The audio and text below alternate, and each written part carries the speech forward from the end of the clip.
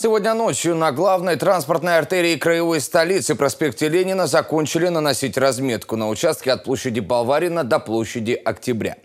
Это финальный этап ремонта дороги на Ленинском проспекте. Сегодня в полном объеме работы по разметке выполнили на улицах Рождественской, Меланжевой, Изящной, Глушкова, Ковыльной, Берестовой и проспекте Коммунаров, Социалистическом, а также улице Георгия Исакова.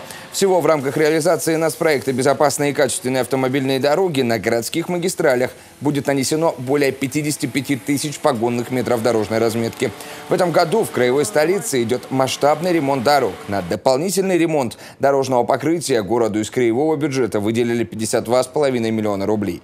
В текущем году обновят покрытие проезжей части и тротуаров на участках улиц Интернациональной, Гоголя, Короленко, Пролетарской, Геблера и Никитина. Кроме того, планируют привести в порядок участки дороги к федеральному казначейству. Добавлю, в этом году ремонт дорог проходит во всех пяти районах города.